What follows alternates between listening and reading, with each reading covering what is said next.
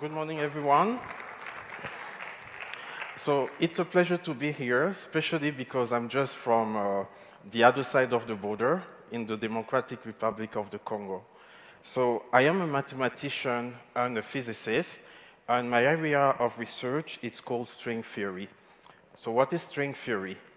Most of the time when I mention to the person sitting next to me in the airplane that I am a string theorist, they assume I'm a musician.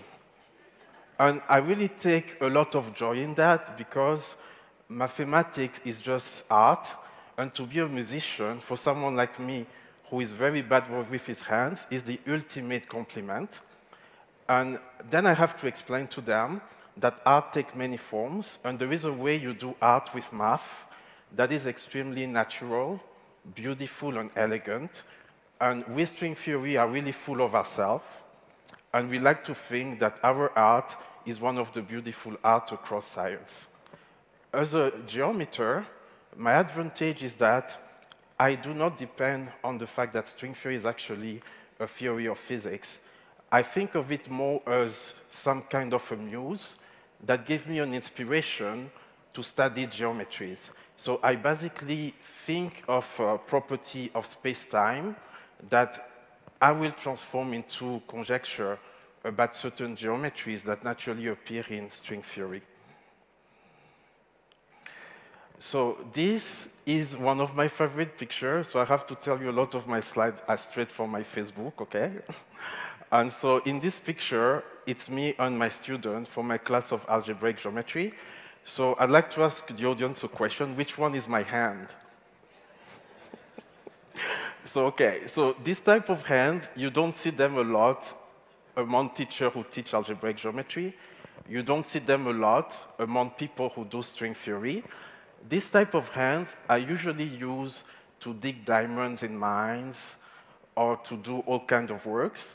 And one thing that we want to do as a next Einstein Fellow is to show that this type of hands can also do art using mathematics and contribute to our knowledge uh, as a humankind. And how do we do this?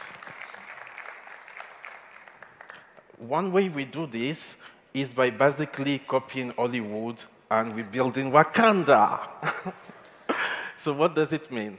So uh, when I got uh, announced as the next Einstein Fellow, I first assumed that I'm going to spend all my time teaching string theory in every corner of Africa because it's so important.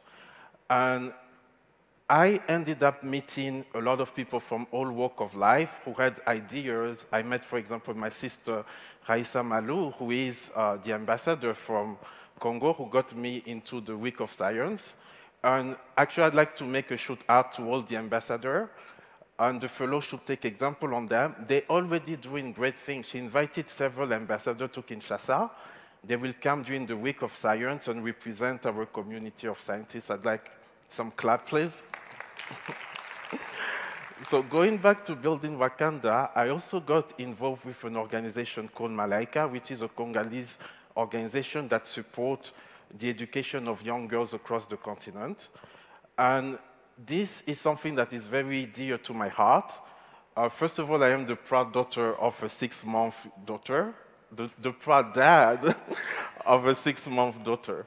And I had the opportunity to teach in a class of girls that are about 13 years old and they live in the middle of nowhere, somewhere in the Katanga province, in a very small city where there were no water before, no electricity, and a group of really good people, in, including uh, uh, the founder and president of Malaika, ended up building this institution, a school, that focused on education of women.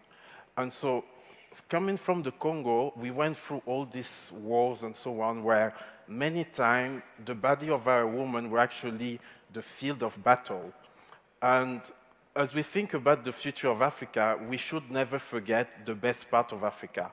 The best part of Africa is not our mine, it's not our diamonds, it's our people. And among our people, our women are the very best of Africa.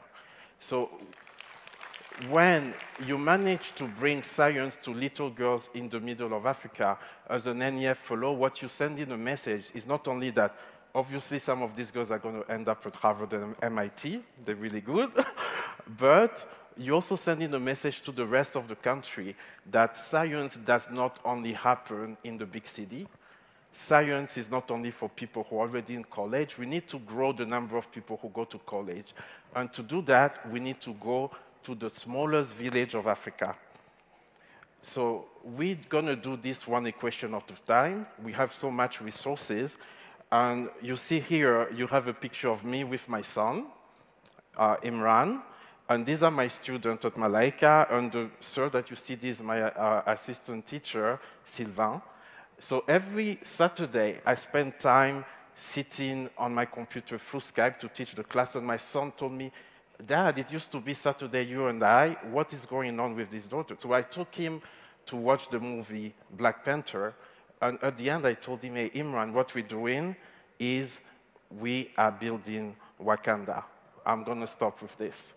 Thank you. Thank you very much.